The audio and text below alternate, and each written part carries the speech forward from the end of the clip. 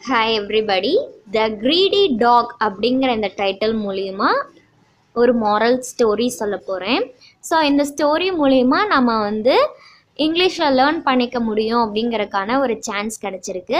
வாங்க ஸ்டோரிக்குள்ளே போகலாம் the greedy dog there was a dog that was very hungry ஒரு நாய் இருக்குது ரொம்ப பசியோட இருக்கு.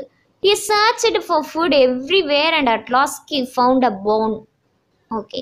ரொம்ப பசியோடு இருக்கிறதுனால அங்கேயும் இங்கேயும் தொலைவி ஒரு போன் வந்து அதோடைய கண்ணுக்கு சிக்குது. போன்னா என்னது? எலும்பு.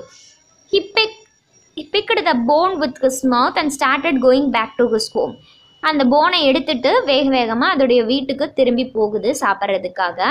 There was a bridge on the way to his home அந்த நாயோடைய வீட்டுக்கு போகிற வழியில் என்ன இருக்குது ஒரு பிரிட்ஜ் இருக்குது பிரிட்ஜ்னா என்ன? ஒரு பாலம். ஓகேவா பாலத்து வழியாக க்ராஸ் பண்ணி அதோடைய வீட்டுக்கு அந்த டாக் வந்து போகணும்.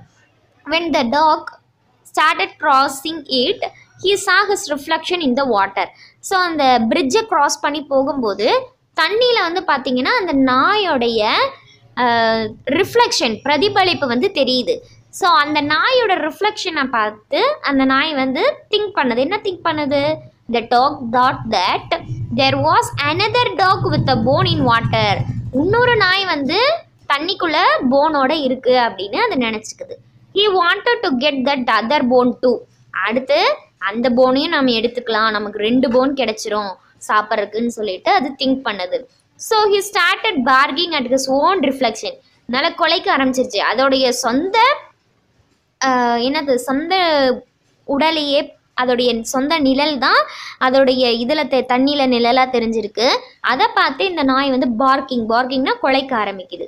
ஓன் ரிஃப்ளெக்ஷன் அதோடைய பிரதிபலிப்பையே பார்த்து கொலைக்க ஆரம்பிக்குது.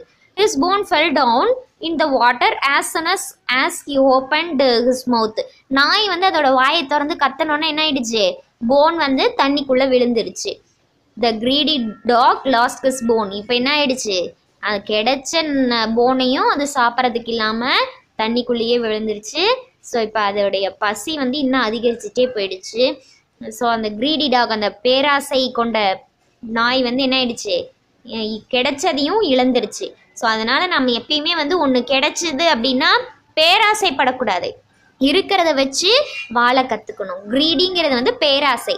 ஸோ இந்த ஸ்டோரி மூலிமா நாம் என்ன தெரிஞ்சுக்கிறோம் அப்படின்னா டோன்ட் பி க்ரீடி ரொம்ப பேராசையோடு நம்ம என்னைக்கும் என்ன பண்ணக்கூடாது? நடந்துக்க கூடாது பேராசை பெருநஷ்டம் அப்படின்றது தான் இந்த த க்ரீடி டாக்குங்கிற ஸ்டோரி மூலிமா நாம் தெரிஞ்சுக்கிட்ட ஒரு moral okay? I hope you can understand the story thank you